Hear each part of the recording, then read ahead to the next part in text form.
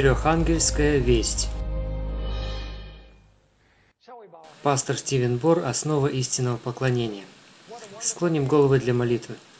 Какой удивительный день мы прожили, о наш любящий Небесный Отец. И сейчас мы имеем возможность в конце этого дня, в качестве его кульминации, изучать Твое Святое Слово. Предмет нашего изучения сегодня чрезвычайно важен и критичен – мы знаем, что мы не сможем понять его без помощи Твоего Святого Духа.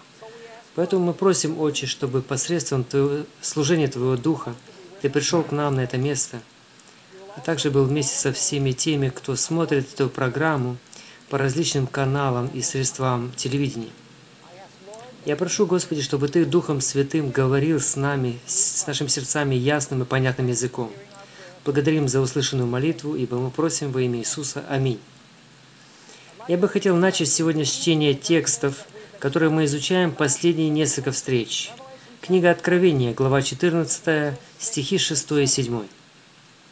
«И увидел я другого ангела, летящего посредине неба, который имел вечное Евангелие, чтобы благовествовать живущим на земле и всякому племени и колену и языку и народу. И говорил он громким голосом, «Упойтесь Бога, и воздайте Ему славу, ибо наступил час суда Его. И поклонитесь сотворившему небо и землю, и море, и источники вод. Мы прошли третье повеление в вести первого ангела, которое мы сегодня будем рассматривать. Первое повеление – убойтесь Бога. Второе повеление – воздайте Ему славу. Третье, разумеется, поклонитесь тому, кто сотворил небо, землю, море и источники вод.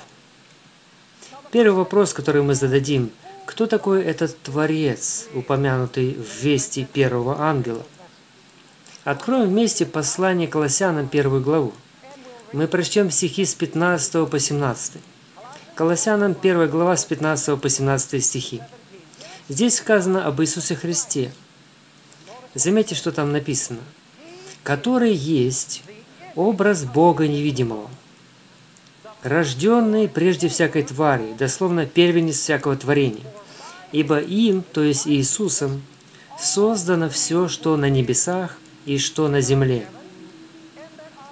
Видимое и невидимое. Престолы ли, господство ли, начальство ли, власти ли, все им и для него создано. И он есть прежде всего, и все им стоит. Выражение «все им стоит» означает, что в его руках жизнь всего творения. В нем все сотворенное имеет жизнь и все остальное. Такое значение имеют современные переводы Библии, как, например, новый интернациональный перевод, NIV.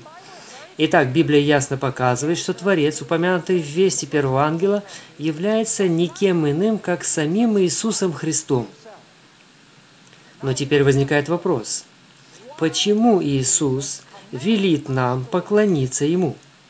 Откроем Псалом 94, стих 6. Там мы прочтем мотив или причину, по которой Иисус призывает нас поклониться Ему.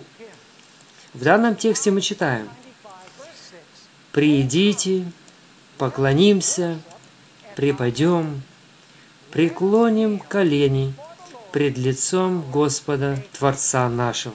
Итак, мотив поклонения заключается в том, что Он Творец, а мы Его творение. Поклонение ожидается от нас, потому что мы были сотворены Иисусом Христом. Заметим еще один текст, говорящий о мотивах поклонения. 9 глава книги Неемии, стих 6. Неемии 9.6. Здесь Неемия, вдохновенный Духом Святым, говорит, «Ты, Господи, един. Ты создал небо, небеса небес и все воинство их, землю и все, что на ней, моря и все, что в них, и ты живишь все сие».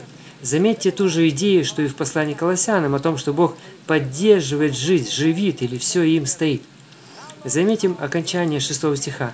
«И небесные воинства тебе поклоняются». Какова же причина поклонения?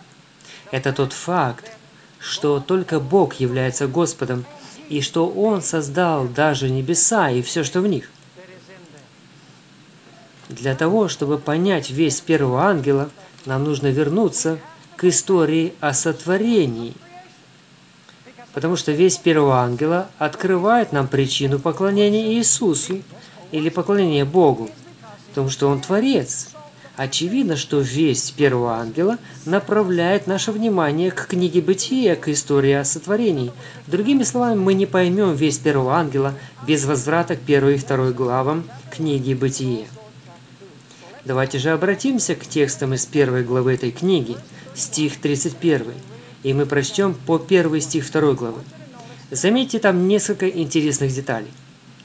«И увидел Бог все, что Он создал». Кто создал? Бог создал. А если точнее, Иисус. «И увидел Бог все, что Он создал, и вот хорошо весьма». И был вечер, и было утро, день шестой. Так совершены небо и земля и все воинство их. Запомним слово «совершены». Позвольте спросить, в какой день Иисус завершил свою работу творения? В шестой день. Слово «совершены» говорит об этом. Кто совершил всю работу творения в первые шесть дней? Иисус совершил всю эту работу. Совершали ли люди какую-то работу в эти дни? Нет, не совершали. Сказано ясно, и увидел Бог все, что Он создал. Затем сказано, что в шестой день Он закончил эту работу и увидел, что она весьма хороша, и Его дела были совершены. Сейчас нам нужно коснуться следующего дня после этих шести дней. Поговорим о седьмом дне. Откроем вторую главу книги Бытия, стихи 2 и 3. Бытие 2 глава, стихи 2 и 3. Заметим несколько интересных вещей в этих двух текстах. «И совершил Бог к седьмому дню дела свои, которые Он делал, и почил Он в день седьмой от всех дел своих, которые Он делал. Тогда благословил Бог седьмой день и осветил его, ибо вон и он почил от всех дел своих, которые Бог творил и созидал. Дословный перевод. Вот мой вопрос. Кто совершал всю работу согласно этому тексту? Иисус совершал всю эту работу. Бог совершал всю эту работу. Об этом говорится снова и снова. «И совершил Бог к седьмому дню дела свои, которые Он делал, и почил Он в день седьмой от всех дел своих, которые Он делал». Тогда благословил Бог седьмой день и осветил его, ибо вон и он почил от всех дел своих, которые Бог творил и созидал. Здесь мы ясно видим, что личность, сотворившая все в течение первых шести дней, была Богом, или, как мы читали в начале нашего урока, Иисусом Христом. А сейчас я хочу обратить ваше внимание на еще одну очень интересную деталь в этом отрывке. Мы снова прочтем этот отрывок, и я выделю два ключевых слова – И совершил Бог к седьмому дню дела свои, которые Он делал, и почил Он. Заметьте, что Он почил в день седьмый от всех дел своих, которые Он делал. Не упустите следующее слово. Тогда, дословно, благословил Бог седьмой день и осветил его. Когда Бог благословил седьмой день? После того, как Он почил в этот день. Другими словами, что делает субботу святым днем? Тот факт, что сам Иисус покоился в субботу.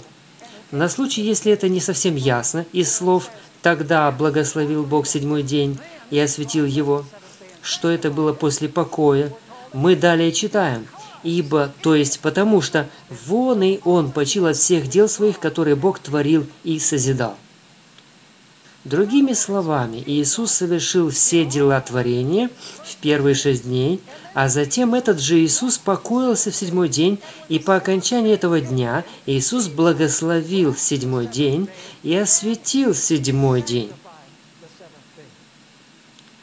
Теперь нам нужно задать вопрос, что же Иисус делал в седьмой день? Вы знаете, долгое время у меня в уме была определенная установка, особенно в отношении книги «Бытие», а в частности о седьмом дне. Читая историю творения мира и Божьего покоя в седьмой день, мы никогда не читаем в этой истории о том, что Иисус повелел Адаму и Еве соблюдать субботу. Я думал об этом. Существуют другие места Священного Писания, показывающие, что суббота была создана для человека – но тем не менее, я всегда думал, почему в начале книги Бытия не сказано о том, что Бог повелел Адаму и Еве соблюдать субботу? Я хотел бы обратить особое внимание на это, потому что мы к этому вернемся. А сейчас мы прочтем один текст, который согласуется с мыслью, только что прочтенной в книге Бытия, где сказано, что Иисус покоился, или Бог покоился. И после того, как Он покоился в седьмой день, весь седьмой день Он благословил и осветил этот день. Давайте откроем четвертую заповедь Божьего Святого Закона. Между прочим, весь первого ангела ссылается своим способом выражения на 20 главу книги Исход, на четвертую заповедь. Между прочим, прочтенное нами было сказано Богом вслух и было написано Его собственным перстом на каменных скрижалях. Поэтому нам нужно выслушать это.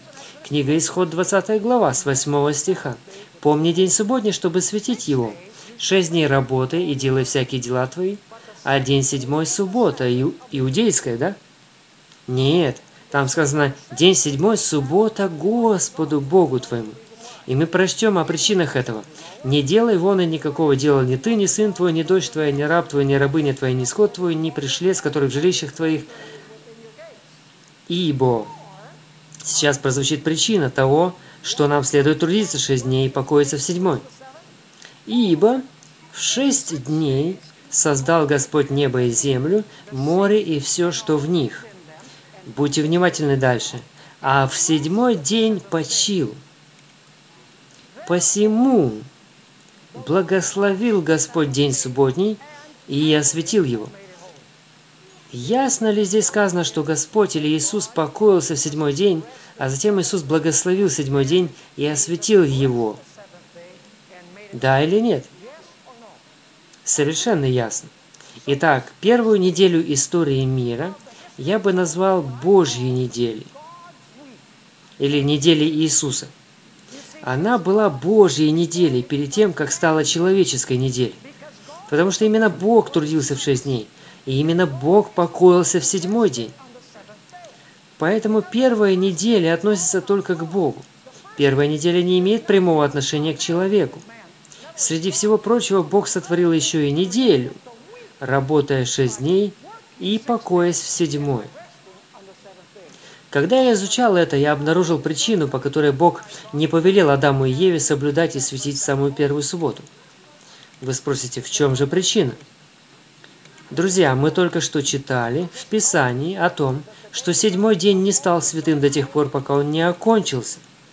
Иисус не освящал субботу до самого окончания этого дня. Как же он мог сказать Адаму и Еве в самом начале субботнего дня «Сведите субботу», если она еще не была освящена? Более того, как Бог мог сказать Адаму и Еве «Соблюдайте субботу, следуя моему примеру», если бы Бог или Иисус еще не дал этому пример? И более того, и это очень важно – Суббота, данная Богом человеку для соблюдения, была не первой субботой в истории человечества, а начиная со второй субботы истории Земли. Вы скажете, как это так? Это может показаться вам новостью, даже если вы адвентист седьмого дня. Но эта истина открывается в Библии с большой ясностью. Она объясняет причину, по которой Бог не велел Адаму и Еве светить ту первую субботу, а начал именно со второй – что гласит четвертая заповедь? Четвертая заповедь ставит субботу в зависимость от дел творения, потому что она ссылается на сотворение мира. Вы соблюдаете субботу по причине творения. Интересно отметить, что Бог в четвертой заповеди говорит человеку, «Трудись шесть дней, и в седьмой покойся». Хочу спросить, При наступлении той первой субботы работал ли человек до нее шесть дней? Он еще не трудился шесть дней. Так мог ли, мог ли он в ту субботу соблюсти заповедь «шесть дней делай дела твои, а в субботу покойся»? Нет. Иисус трудился шесть дней, покоился в седьмой, и затем, как гласит четвертая заповедь, Иисус сказал Адаму и Еве и всем их потомкам, «Теперь, увидев Меня, трудящегося шесть дней и почившего в седьмой день, вы трудитесь тоже шесть и покойтесь в седьмой день». Иисус сначала осветил субботу, сначала Он показал пример ее соблюдения, а затем дал четвертую заповедь – светите субботний день, потому что сейчас, после моего покоя в этот день, суббота освящена. Так позвольте спросить, чьим днем является суббота? Суббота – это прежде всего день Иисуса, и, по, и только потом день, данный человеку. Неделя была создана Иисусом, и после этого неделя была дана человеку после своего сотворения Иисусом. Между прочим, адвентисты седьмого дня не единственные, кто верит в субботу как постановление, связанное с творением. Позвольте прочесть вам слова богослова Евангелической Церкви. Его зовут Генри Моррис. Я буду говорить о нем подробнее немного позже. Заметьте, что он пишет в книге «Библейский креационизм», страница 62. Господь сам трудился шесть дней, затем покоился в седьмой – установив тем самым вечный образец для пользы человечества. Что сделал Иисус после сотворения недели? Он установил постоянный, что? Постоянный образец, чтобы следовать такому же процессу и образцу, который показал Бог. Позвольте спросить, не является ли суббота знаком Бога Творца для человека? Четвертая заповедь именно об этом и говорит. Потому что мотивация в соблюдении субботы связана с сотворением мира. Поэтому сразу же после окончания первой недели Иисус сказал человеку, теперь ты будешь работать шесть дней, а в седьмой ты придешь, и мы будем праздновать субботу так, как ты видел меня празднующим ее. Таким образом, отныне и всегда ты будешь помнить обо мне, как о Творце. Суббота будет знаком того, что я Творец. И ты будешь помнить об этом отныне – не случайно четвертая заповедь начинается со слов «Помни день субботний», чтобы светить его «Помни». Библия сообщает нам о том, что суббота является знаком между Богом и Его народом. Я советую вам это запомнить, потому что вы, мы еще вернемся к этому в дальнейших лекциях. Прочтем из книги Исход 31 главы 17 стиха. Бог говорит, «Это знамение между мной и сынами Израилевыми навеки». Вы скажете, разве суббота не для сынов Израилевых? Но вы помните, что в Новом Завете те, кто принадлежит Христу, семя Авраамова и по обетованию наследники. Прочтите об этом в послании Галатам 3.29. Если вы Христовы, вы семя Авраамова. Поэтому, если вы Христовы, то вы Израиль. Мы читаем, это знамение между мной и сынами Израилевыми навеки. Затем Бог объясняет, почему суббота является таким знамением. Заметьте, потому что в шесть дней сотворил Господь небо и землю, а в день седьмой Он почил и что? И покоился. Позвольте спросить, является ли суббота частью плана сотворения мира? Безусловно, да. Суббота связана с творением. Она предшествует возникновению евреев и не имеет ничего общего в своем первоначальном предназначении с искуплением на кресте. Потому что суббота была сотворена в совершенном мире, и поэтому не имеет отношения к искуплению и к кресту, если смотреть на первоначальные намерения – Позже она приобрела дополнительные функции, но с самого начала она указывает на сотворение. Поэтому, когда весь первого ангела велит нам поклониться Творцу, отсылает нас обратно в книгу Бытие, и мы видим, что знамение Творца и есть соблюдение седьмого дня субботу. Позвольте прочесть несколько утверждений изумительных цитат Генри Морриса, богослова Евангелической Церкви, который умер в 2006 году. Он был сильным сторонником сотворения мира за буквально 6 дней, а также основателем организации исследований, посвященных сотворению в Сан-Диего, Калифорнии. Заметьте его слова э, на странице 61-62. «Соблюдение субботнего дня, то есть дня покоя, было учреждено не этой заповедью, то есть не четвертой заповедью. Он говорит, что суббота была установлена не четвертой заповедью, ибо она соблюдалась человечеством с самой первой недели сотворения мира. когда Бог благословил день седьмой и осветил его, потому что он почил от всех дел своих, которые Бог творил и созидал. На странице 251 он пишет следующее. Существуют веские аргументы в пользу того, что суббота соблюдалась как Израилем, так и другими народами задолго до Моисея. Однако Слово Божье ясно показывает, что она была учреждена самим Богом как памятник Его совершенного творения, и что она хоть кем-то, но соблюдалась в качестве особого дня покоя с тех самых пор. В другом абзаце на странице 253 книги «Библейский креационизм» он пишет «Спустя столетия суббота в конце концов почти стала ассоциироваться исключительно с религиозными церемониями народа израильского – несмотря на то, что Творец осветил ее еще в самом начале для всех людей. Когда этот Творец впоследствии стал человеком в лице Иисуса Христа, он подчеркивал, что суббота никогда не назначалась в качестве обычного иудейского религиозного ритуала, как об этом стали говорить фарисеи, искажая истину. Суббота была дана для пользы всех людей. Эти утверждения евангелического ученого просто изумительны – он утверждает, что суббота связана с творением и соблюдалась людьми задолго до Моисея и десяти заповедей. Но сейчас мы пойдем дальше. Поговорим об исходе Израиля из Египта. Вы помните знамения, данные Богом, чтобы увековечить исход из Египта? Это была Пасха, правда? Позвольте спросить, кто освободил Израиль от египетского рабства и учредил обряд Пасхи? Откроем книгу «Исход», главу 3, стихи 13 и 14. Это происходило у горящего куста. Изумительное существо явилось Моисею, чтобы говорить с ним. Заметьте терминологию, которая используется здесь. «И сказал Моисей Богу, «Вот я приду к сынам Израилевым и скажу им, Бог отцов ваших послал меня к вам. А они скажут мне, как ему имя? Что сказать мне им?» Бог сказал Моисею, «Я есть сущий». И сказал, «Так скажи сынам Израилевым, сущий послал меня к вам. Я есть послал меня к вам». Как звали того, кто явился в горячем кусте? Его имя было «Я есмь». Моисей сказал, «Я есмь послал меня вывести Израиль из Египта».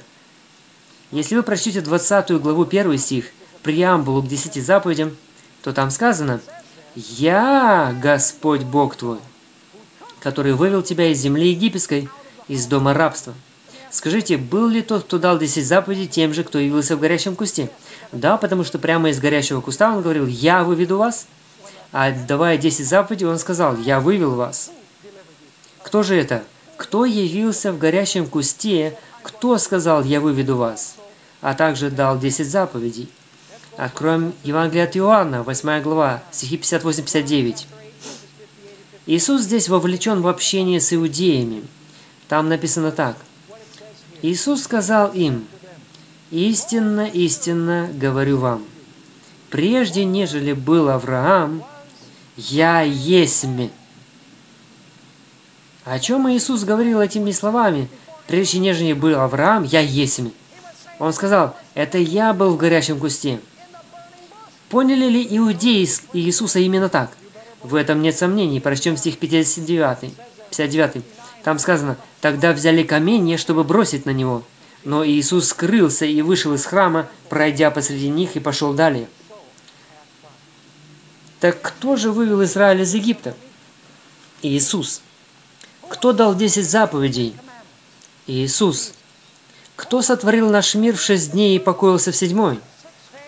И своим покоем осветил субботу, а затем дал ее людям вместе с неделей. Кто это был? Это был Иисус Христос. Поэтому суббота принадлежит самому Иисусу. Избавителем Израиля был Иисус. Другими словами, Творец является и искупителем Израиля. Я спрошу, не эта ли личность пришла освободить все человечество? Откроем первую главу Евангелия от Иоанна, стихи с 1 по 3, а затем прочтем стих 14. Этих текстов нет в ваших списках, но вы знаете их очень хорошо, что даже не нуждаетесь в их чтении. Иоанна, первая глава. Вначале было Слово, и Слово было у Бога, и Слово было Бог. Оно было в начале у Бога. Кто имеется в виду? Что за слово? Иисус. Читаю дальше. Все через Него создано или начало быть. И без Него ничто не начало быть, что начало быть. Является ли Иисус Творцом? Да, является. Но Он также является Искупителем. Теперь стих 14. «И Слово стало плотью и обитало с нами, полное благодати и истины, и мы видели славу Его, славу как единородного от Отца». Был ли Иисус воплощением образа пасхального агнца? Безусловно. Итак, мы видим непрерывную цепь творения, искупление Израиля и искуплителя человечества в одном лице – Иисуса Христа. Читая библейскую историю, вы обнаружите, что пасхальный агнец должен был иметь две характеристики. В первую очередь он должен был быть совершенным и беспорочным – и когда было установлено, что агнец совершенен и без пятна и порока, он должен был быть принесен в жертву. Кого же он символизировал как совершенный агнец без порока? Он символизировал совершенную жизнь Иисуса на нашей земле. Что же символизировала смерть этого агнца? Эта смерть указывала на смерть Иисуса, вознесшего наши грехи на крест – Поэтому Пасха имела гораздо большие измерения, чем просто заклание агнца и поедание горьких трав с пресным хлебом. Символ, данный Иисусом Израилю, был исполнен им самим, когда он пришел на землю. Но теперь возникает вопрос, в какой день и час Иисус умер, как реальный пасхальный агнец? Откроем Евангелие от Матфея, 27 главу, стихи 46-47 мы прочтем нечто очень интересное. Советую сейчас взбодриться и приготовиться к интересному открытию. Мы прочтем три последних возгласа Иисуса на кресте. Сказано, а около девятого часа, заметьте, что не в девять часов ровно, а около девятого часа, возопил Иисус громким голосом, «Или, Или, лама савахфани», то есть, «Бог, Боже мой, Боже мой, для чего ты меня оставил?» Это произошло около девятого часа, потому что еще не было девяти, еще не все было сказано. Иоанна 19.30. Когда же Иисус вкусил уксуса, сказал «Совершилось!» и, преклонив главу, предал дух. Но в Евангелии от Луки вы прочтете, что он сказал еще нечто после слов «совершилось». Лука 23.46. Иисус, возгласив громким голосом, то есть сказав «совершилось», сказал, «Отче, в руки Твои предаю дух мой». И сие сказав, испустил дух. В какой час дня, по-вашему, Иисус испустил дух после слов «совершилось» и «Отче, в руки Твои предаю дух мой»? Точно в девять часов. Вы спросите, пастор, когда же наступает девятый час?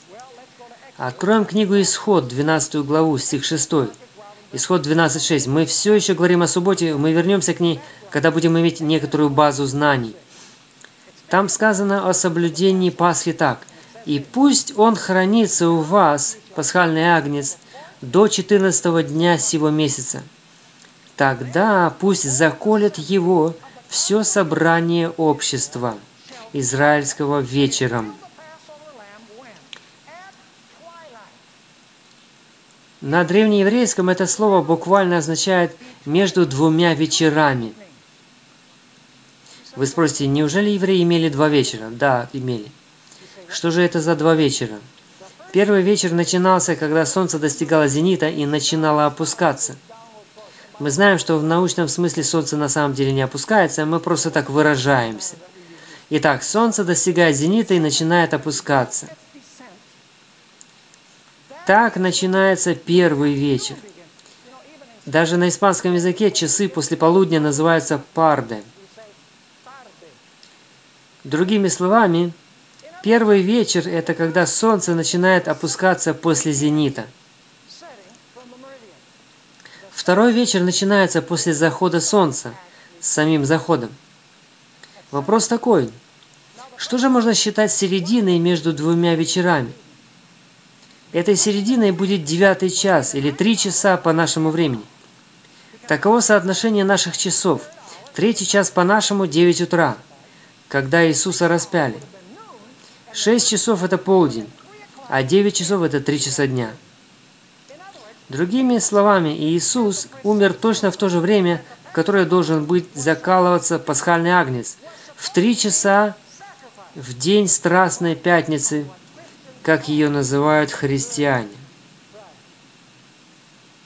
Сейчас я прочту отрывок из Писания, который открывает нам последовательных дней этих событий. Мы увидим, что Иисус умер в пятницу, был похоронен и оставался в погребальном склепе всю субботу и воскрес в первый день недели. Евангелие от Луки, 23 глава, стихи с 54 по 56. Здесь мы находим хронологическую последовательность. Мы знаем, что он умер в 3 часа дня. Между началами трех вечеров, двух вечеров. В какой же день это было? Послушаем. День тот, то есть день распятия смерти Христа, день тот была пятница или день приготовления, и наступала суббота. Была ли уже суббота? Нет, была пятница. Стих 55. Последовали также и женщины, пришедшие с Иисусом из Галилеи, и смотрели гроб, и как полагалось тело его. Возвратившись же, приготовили благовоние и масти, и в субботу остались в покое по заповеди. Что же эти женщины делали после осмотра склепа? Они покоились. Скажите, была ли какая-то срочность в том, чтобы снять тело Иисуса с креста в пятницу? Да. Почему существовала такая срочность? Потому что он не мог остаться на кресте в субботу. В этом есть глубокий смысл и значение, помимо законничества иудеев. Видите ли, в начале субботы Иисус должен был быть уже готов к этому, подобно пасхальному агнцу в пасхальный вечер. Затем, скорее всего, с заходом солнца израильтяне уже ели пасхального агнца. Иисус умер в три часа, его тело должно было быть приготовлено к погребению, чтобы его тело покоилось в гробе весь субботний день.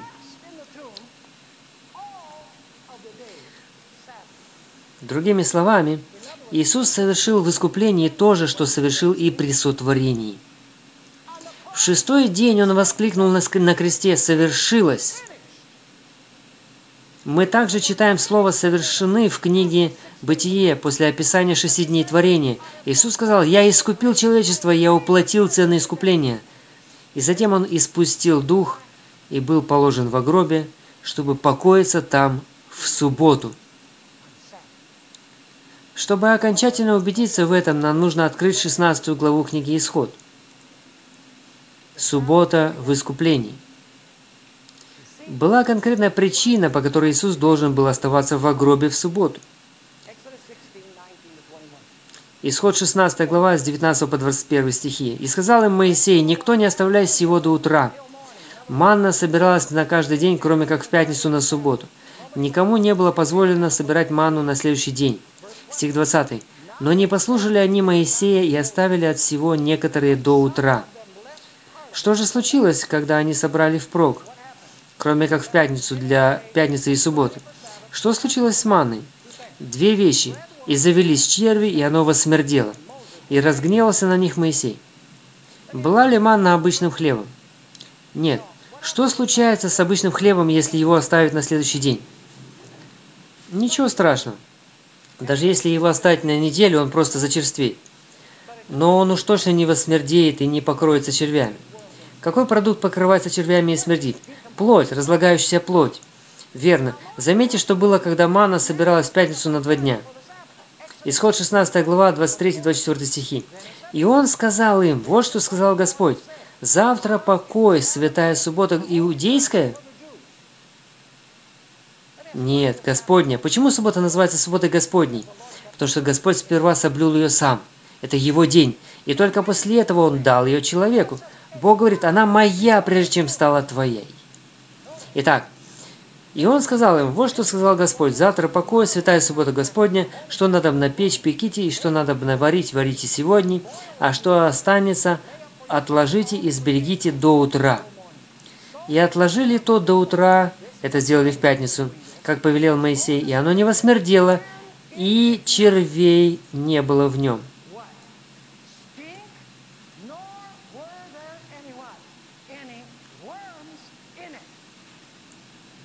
Чему же Бог желал научить нас тем, что манна не разлагалась с пятницы на субботу? Сперва нужно знать, что символизировала собой эта манна. Откроем Евангелие от Иоанна, 6 глава, 51 стих. Большинство комментаторов упускает это мессианское значение истории о манне. Бог желал научить не только соблюдению субботу в случае с маной. Он хотел показать, что Иисус соблюдал субботу, когда Он умер на кресте и покоился в гробе, и Его тело не увидело тление.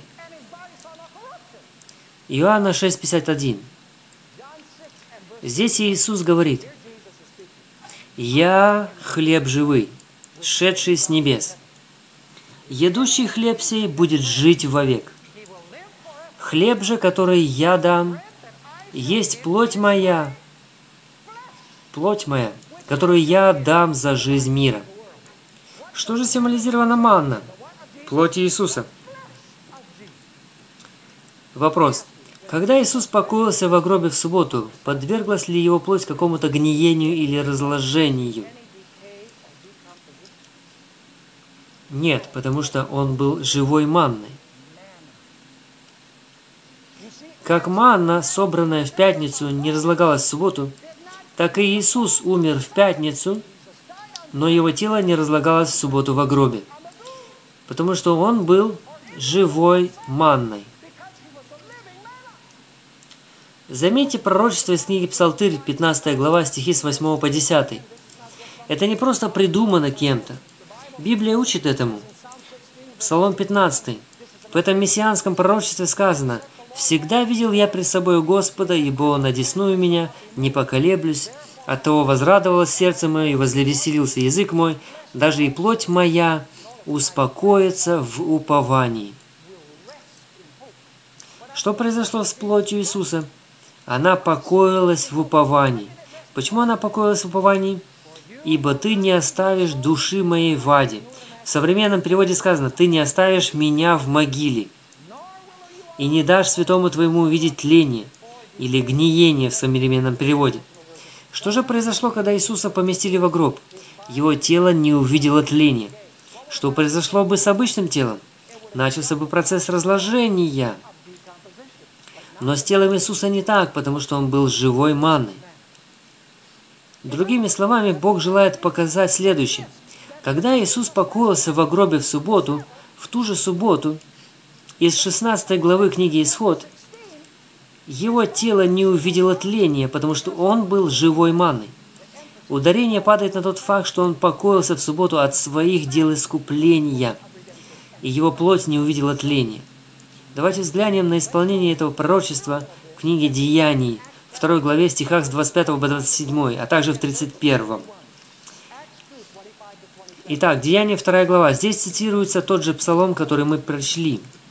«Ибо Давид говорит о нем, «Видел я перед собой Господа всегда, ибо Он одесную меня, дабы я не поколебался.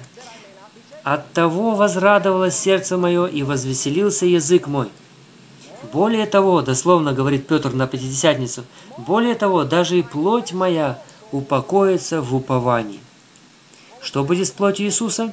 Она будет покоиться в уповании. Далее точный перевод гласит, «Ибо ты не оставишь меня в могиле и не дашь святому твоему увидеть тление». Теперь стих 31 объяснит, что это значит – Видя будущее, дословно, видя будущее, он прежде сказал о воскресении Христа. Давид сказал о воскресении Христа, что не оставлена душа его в аде, и плоть его не видела тления. Говорил ли Бог, что тело Иисуса будет покоиться в гробе в субботу и не будет разлагаться? Конечно, говорил – Поступил ли Иисус точно так же после того, как искупил человечество, как и после того, как сотворил человечество? Конечно. Что же Он сделал? Он покоился в седьмой день. И притом весь седьмой день. Потому что Он был положен в гробе, в гробе перед наступлением субботы. И Он оставался в гробе всю субботу. Некоторые христиане говорят, я предпочитаю соблюдать воскресенье, потому что это радостный день, а суббота была печальным днем. Изумляет количество разумных аргументов, которые способны произвести человеческий мозг. Дело в том, что та суббота не должна была быть печальным днем. Иисус сам сказал ученикам, что направляется в Иерусалим, где примет смерть и воскреснет на третий день. Если бы они послушали его, то этот день стал бы для них днем славного ожидания. Они поняли, бы, они поняли бы слова Иисуса о том, что Он завершил миссию искупления и что Он уже покоится в гробе и воскреснет уже завтра. Этот день был бы днем радостного ожидания. Между прочим, воскресенье не было таким уж счастливым днем, потому что еще ночью в субботу ученики даже не верили в то, что Он воскрес. Как они могли радоваться? Нам нужно быть осторожными со всеми аргументами, которые мы слышим. Если бы ученики поняли то, чему их желал научить Бог через это пророчество о покое тела Иисуса в гробе, то суббота была бы для них славным днем. Они, они бы поняли, что Мессия покоится от своих дел искупления, как Он покоился от своих дел творения. Некоторые христиане говорят, Иисус воскрес в воскресенье, потому что Он хотел показать церкви особую святость воскресенья. Но мы сами видим, что фокус совсем не на воскресенье, а на субботе. Послушайте, для того, чтобы Иисус упокоиться в гробе всю субботу, Он должен был воскреснуть в воскресенье. Но не так важно то, что Он воскрес в воскресенье, как то, что Он покоился в гробе в субботу. Но христиане часто придают большее значение именно воскресенью. Но нет, это, его покой в гробе важнее. А поскольку он покоился в субботу весь день, он должен был воскреснуть в первый день недели. Изумительно, что на протяжении Святой Недели христиане часто упоминают Святую Среду, Святой Четверг, Страстную Пятницу, Воскресение Христа, имея в виду воскресенье. Но кто сегодня вспоминает о субботе и ее роли в этой неделе – Никто не упоминает о субботе в течение Святой Недели. Этот день как бы пренебрегается.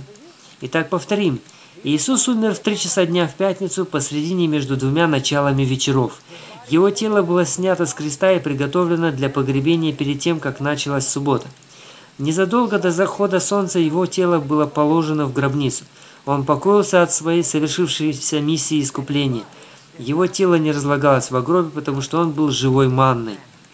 Затем Иисус воскрес первый день недели не для того, чтобы сделать этот день святым, но потому что в предыдущий день он должен был покоиться в гробнице в субботу. Позвольте спросить, что же делает субботу святым днем? Мы читали в книге «Бытие», а также в четвертой заповеди, что субботу святым днем сделал именно покой Иисуса. Он покоился в этот день и поэтому благословил и осветил этот день. Разве не так у нас учит Библия? Что же делает субботу святым днем? Именно покой Иисуса Христа. Для того, чтобы называть воскресенье святым днем покоя, нужно доказать на основании Писаний, что Иисус покоился в первый день недели. Потому что только Его покой сделает святым этот день. Но Иисус просто не мог покоиться в первый день недели. Иисус покоился в субботу в гробнице, подобно тому, как и при сотворении мира, осветив тем самым субботу повторно. Друзья, сатана сделал все возможное для того, чтобы стереть произошедшее с Иисусом Христом из памяти людей. Он постарался изгладить знамение Творца, субботу, потому что она напоминает нам об Иисусе, нашем Творце и Искупителе. Поэтому он, пытаясь устранить это знамение, пытается стереть из нашей памяти существование самого Иисуса и важность истинных, связанных с Ним. Сегодня люди предоставляют всевозможные объяснения существованию мира – Дарвинистская эволюция, творящая безличностная сила, разумное сотворение, прогрессивное сотворение, теистическая эволюция, теории нового века и так далее. Если бы только люди соблюдали седьмой день недели, ни одна из этих теорий не была бы принята. Потому что Библия ясно говорит, Иисус сотворил мир в шесть дней и покоился в седьмом. Точка.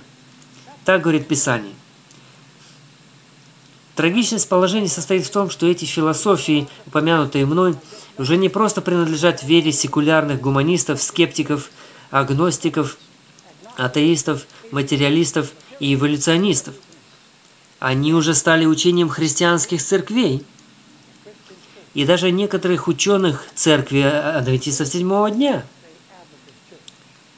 Позвольте прочесть вам утверждение из римского католического катехизиса – это последний катехизис от 1994 года, страница 87. Католический катехизис открыл дверь для теории эволюции. Послушайте, что там сказано. Сам Бог сотворил видимый мир и все его изобилие, разнообразие и порядок. Писание отображает дела Творца. Выслушайте следующее слово. Оно очень важно, и вам нужно выслушать его.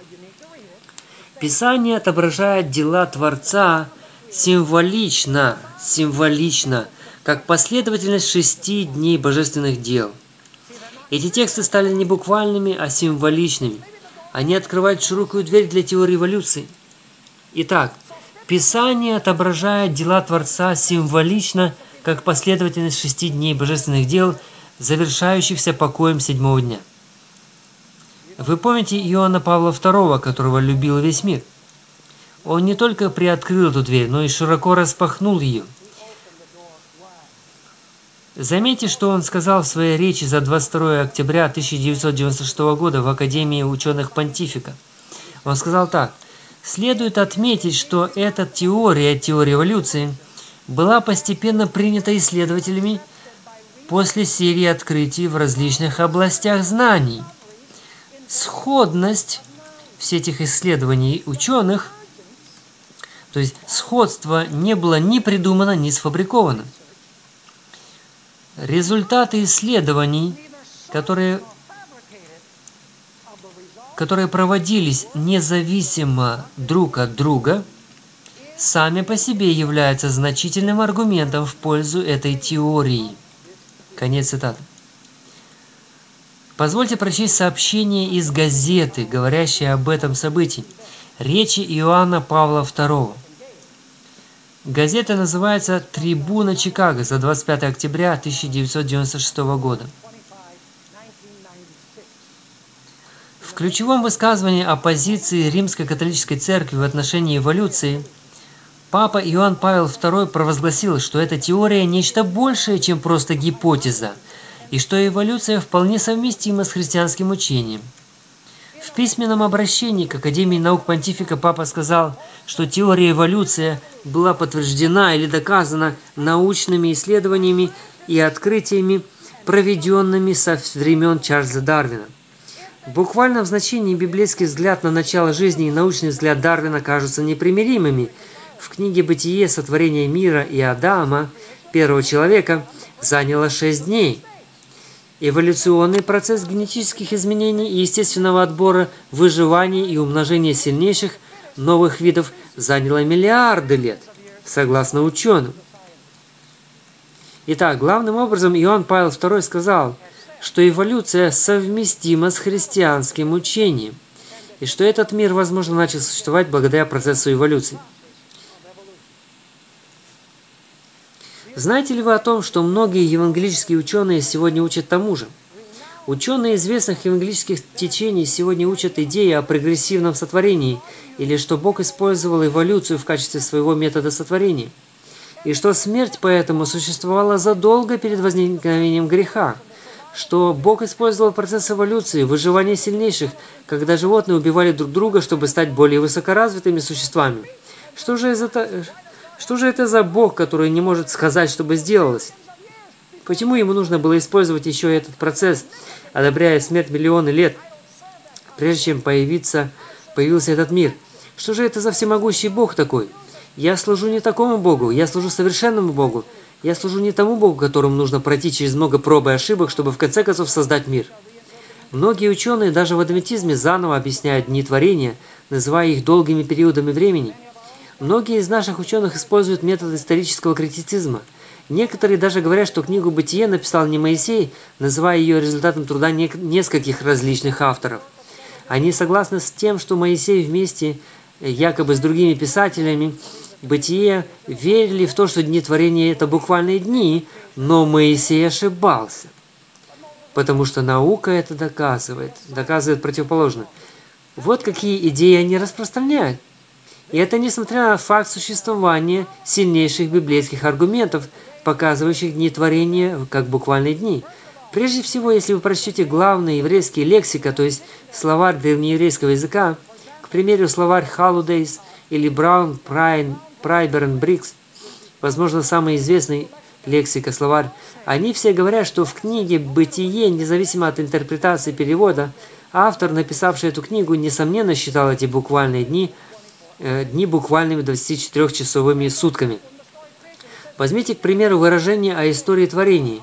«И был вечер, и было утро, и день первый». Может ли это значить, что вечер и утро длились первые несколько миллионов лет? Выражение «вечер и утро» показывает буквальность суток. Более того, в Ветхом Завете слово «день» с числительным прилагательным используется 150 раз – И каждый раз слово «день», то есть слово «йом» по-еврейски, которое употребляется с числительным, указывает на буквальные 24-часовые сутки. Так что же нам делать с четвертой заповедью? Четвертая заповедь гласит «Шесть дней работай, а седьмой день покойся, потому что Бог шесть дней работал и покоился в седьмой». Если мы будем придавать слову «день» значение в миллион лет, то как же нам следовать примеру Творца – эта логика рушится на, на глазах. Трудиться шесть буквальных дней, соблюдать седьмой по той причине, что Бог трудился в шесть дней и покоился в седьмой, в таком случае значит, что Бог требует от нас невозможного.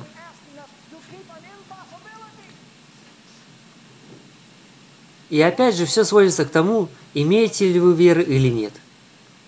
Вера к учению имеет прямое отношение. Я скажу вам, что я делаю выбор верить тому, что Бог сообщает нам в Своем Святом Слове. Способен ли дьявол, по-вашему, перевернуть все вверх дном, выставляя эволюцию за хорошее учение? Лучше вам поверить в это. Все, что мы можем сделать, довериться Слову Божьему. В конце нашей встречи я хотел бы поговорить о субботе в значении будущего. Суббота не только указывает на Иисуса как на Творца, не только указывает на Иисуса как на Искупителя – она является также и пророчеством о будущем покое, которое мы будем иметь в грядущем царстве. Прочтем 66 главу книги Исаии, стихи 22-23.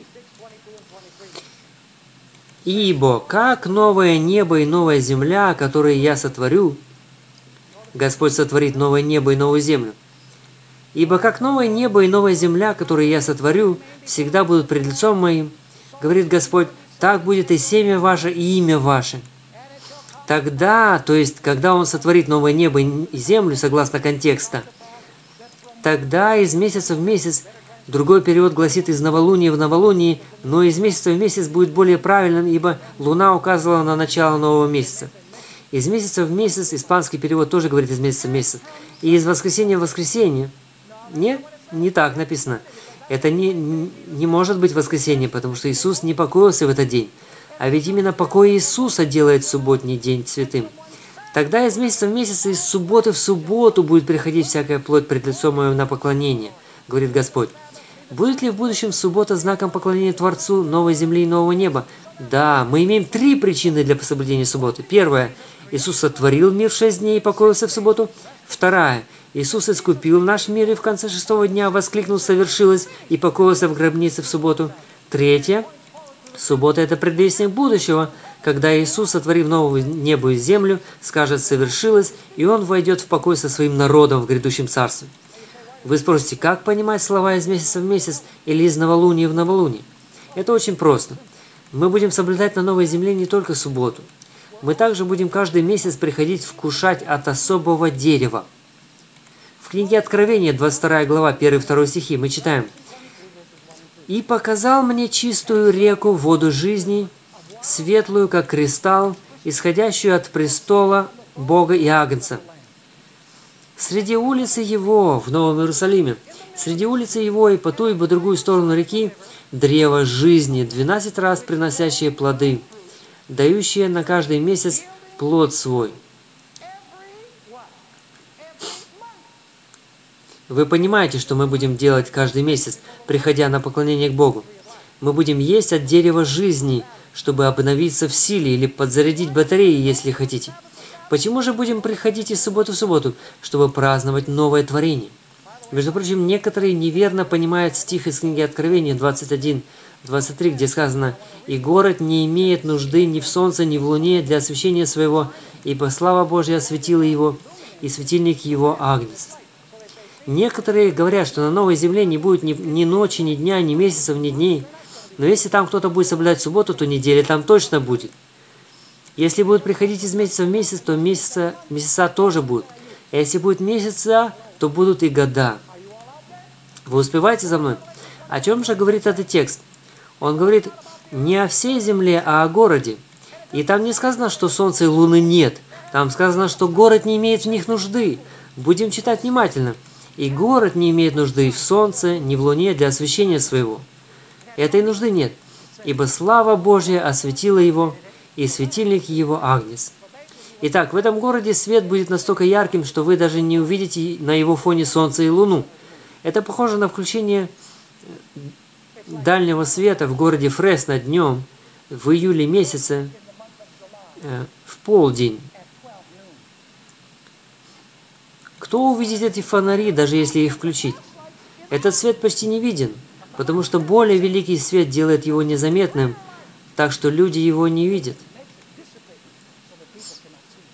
Друзья, последний конфликт на земле будет иметь дело с поклонением. И будут два знака поклонения. Мы об этом поговорим позже, о печати Божией и начертании зверя. Первое знамение – знак поклонения Творцу.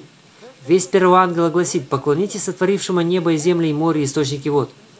Об этом невозможно говорить, не затрагивая соблюдение его святой субботы. Но существует и другая власть, обозначенная словом «зверь». зверь. Мы поговорим об этом власти позже. В мире будут люди, которые поклоня... поклонятся этому зверю, который, очевидно, будет поддельным Творцом.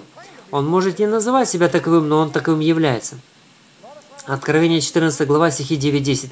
Кто поклоняется зверю и образу его и принимает начертание на чело свое, на руку свою, тот будет пить вино ярости Божьей, вино цельное, приготовленное в чаше гнева его.